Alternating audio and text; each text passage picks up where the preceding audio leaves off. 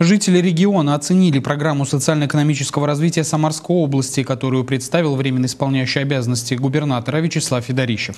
И вот как они прокомментировали озвученные им решения, касающиеся обеспечения квартирами детей-сирот, переселения людей из ветхого и аварийного жилья, строительства новых поликлиник, школ и детских садов.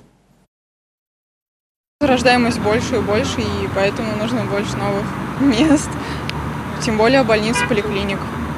Здоровье самое главное. У нас очень много, много это, старых э, домов, особенно вот в Кировском районе. Естественно, да, конечно, я думаю, что люди будут довольны этим. Ну, на мой взгляд, очень много строится домов в центрах, и население растет, опять же, да, все приезжают из регионов и с областей, из сел, и не хватает. В две, в три смены ученики учатся, у меня у самого сын ну, в школу ходит, и как бы есть потребность очень большая. Я за то, чтобы детей-сирот однозначно обеспечивали, потому что им некому помочь. Это обязано государство делать, я считаю. Раз уж мы их сначала берем в интернаты, в детдома, то потом должны, конечно, предоставлять стартовое какое-то жилье. Много новостроек.